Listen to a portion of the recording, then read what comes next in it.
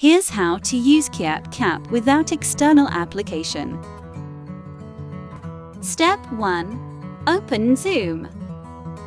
Turn off Zoom camera to open inbuilt camera application. Step 2. Open up inbuilt camera application in your Windows computer.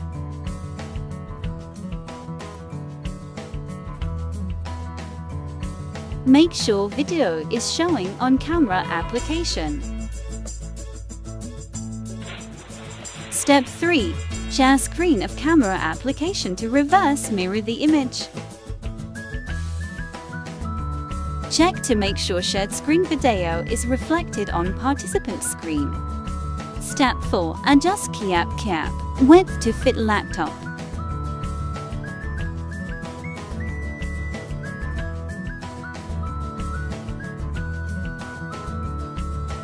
Step 5.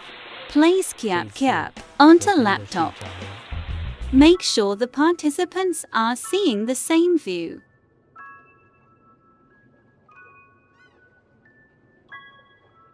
Step 6. Place a whiteboard and start sharing your work online. Mirror image would be corrected and participants should see actual image.